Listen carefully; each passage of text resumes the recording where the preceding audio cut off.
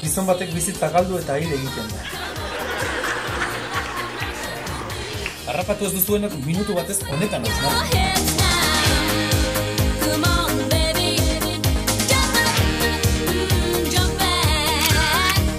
Marta da zure izena? Ba, Egundoko izango zen. Aur guztiak etorri behar zinetela pentsatzen ari zarete. Lasai, gurasoak emanaldia hasi denetik horretan pentsatzen da.